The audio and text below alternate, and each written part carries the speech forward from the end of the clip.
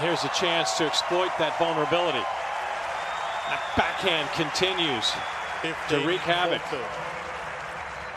Yeah, what a pass from Auger-Aliassime. Read where Isner was going to go with this approach. Got into position so early and what an angle that he found with the backhand pass as well.